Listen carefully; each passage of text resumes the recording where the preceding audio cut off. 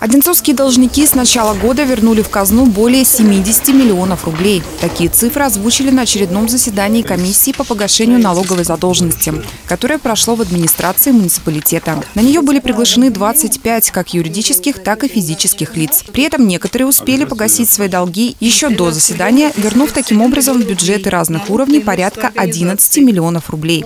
Прошу быть активными, конструктивными, конкретными. Срок у нас две недели также остается. Каждую ситуацию члены комиссии рассматривают индивидуально, но срок, в течение которого денежные средства должны поступить в бюджет, для всех должников одинаковый – не позднее 20 мая.